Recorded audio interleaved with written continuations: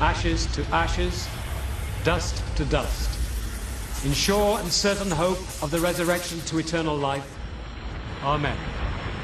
For all of the build-up and everything that's been going on, now we're getting to the heart of the drama. You know what? You are pathetic. Just stand back! It's kind of like Cain and Abel, really. Stitched me up. You know full well I didn't do anything wrong. The two warring brothers. Would you please take him away? Ryan uh, doesn't really want to go to the funeral at all. Uh, Faye comes to see him. The last thing that family wants is for you to be there, and that's why you must be. So he, he turns up at the funeral, and uh, Nathan's there, obviously, his evil little brother. And for him to turn and see Ryan suddenly there, I think a, a lot of it just boils to the surface. Who's allowed this? Sit down. Ryan doesn't go with the intention of causing trouble. He's not really the trouble-causing type. Maisie. Will you come and see me, please? I need to talk to you. Leave her alone, Ryan. Please. You're making a fool of yourself. The anger and venom and aggression that comes from Nathan is almost enough to show the village his true colours, but hopefully not too much. No, I think you'll find they can. Maisie, please, look, you know he did it. It wasn't me. Please, you've got to believe me. Leave me alone!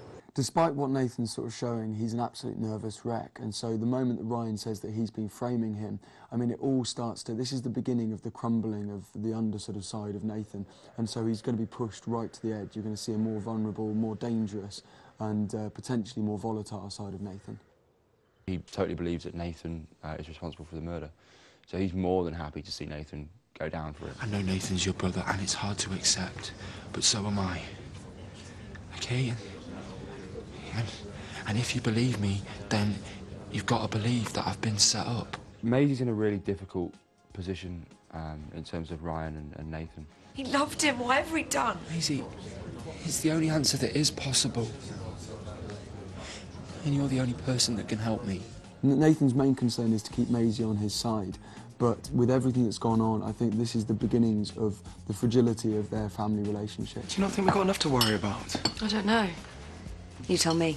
He knows that he has a way of getting round Maisie, whether that means emotionally or just another sort of devious plan. But I don't think he's aware of quite what Maisie's up to. I don't care what you said. My life is being torn apart, and I'm going to go to the police and I'm going to tell them everything. I don't think Nathan can wait for the moment when Ryan finally goes down. Uh, Everything that he, Nathan's been building up to is all aimed towards getting Ryan to go to prison. I don't know quite how it's going to play out with, with Ryan, if he's going to come out and be an evil monster or if he's going to be... But he's, he's definitely going to be different. He's definitely going to be a changed man. Um, and he's got to give Nathan his comeuppance at some point.